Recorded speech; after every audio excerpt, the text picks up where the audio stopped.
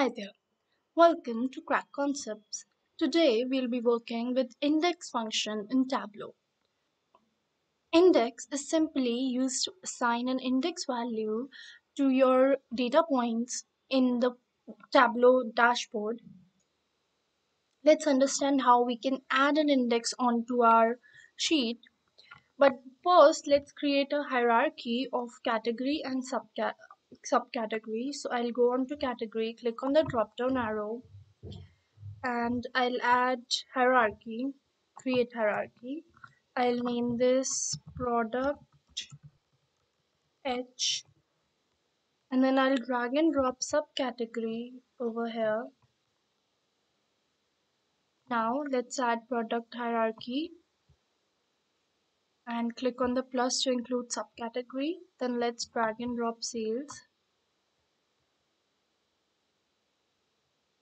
Now let's go ahead and define our uh, index function. You can go onto this drop down arrow and create a calculated field.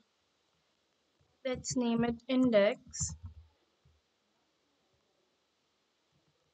And as you can see you can find it here as well. So we'll just double click on index. And that's all you need when creating an index. You do not need to give anything else. So let's click on ok and add index onto our values. Now right now index is a continuous object which is why this graphic is appearing you need to understand the difference between greens and blues discrete discrete and uh, continuous.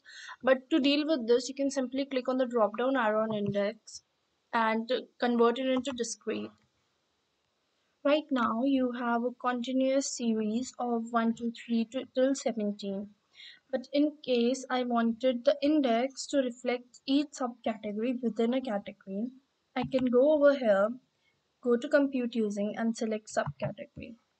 This way, each subcategory within a new category would start with index 1.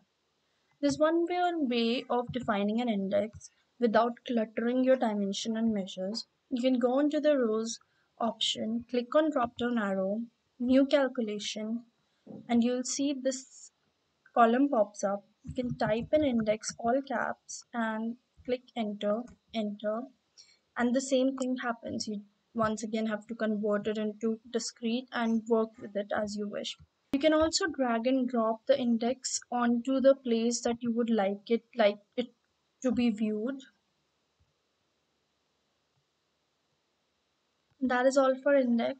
Thank you for watching Crack Concepts. We hope this video was helpful to you. And if you like this video and would like more such videos, please consider subscribing.